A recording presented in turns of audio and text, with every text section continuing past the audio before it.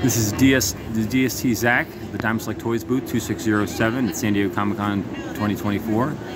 Uh, we are looking at the final display case, display case number six at uh, the booth.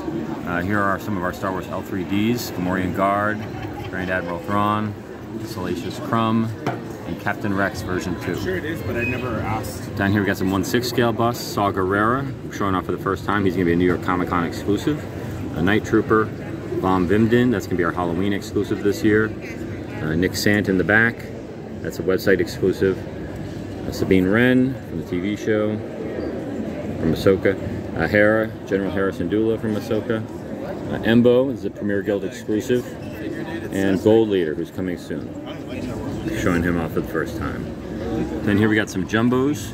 We're showing off IG-11 and IG-12 for the first time. IG-11 uh, comes with a rifle. Uh, IG-12 comes with an Anzellan in his chest. Another Anzellan to stand around.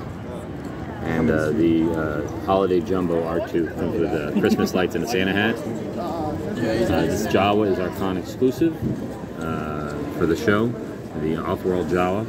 In the back you got Amanaman, his stick, and his Power of the Force coin. And then we got Sy Snootles with her microphone, and we got Max Rebo with his keyboard. Not shown is Droopy McCool. All three members of Max Rebo Band are for pre-order now.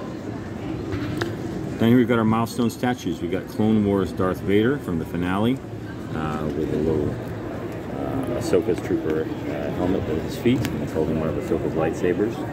Uh, here's Wicket, the website exclusive. Here is uh, Crait Luke, the cool red and white base.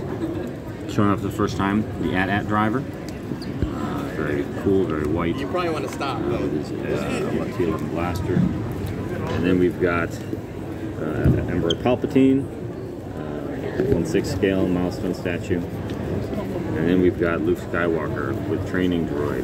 And he has the interchangeable lightsaber blades. You can just have the lightsaber blade. He's also got the interchangeable Luke Skywalker head.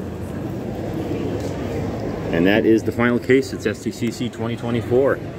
Check out all this stuff online. You can pre-order most of it now. And uh, we will see you in New York at, at Comic Con, uh, New York Comic Con in October. See you there. Bye.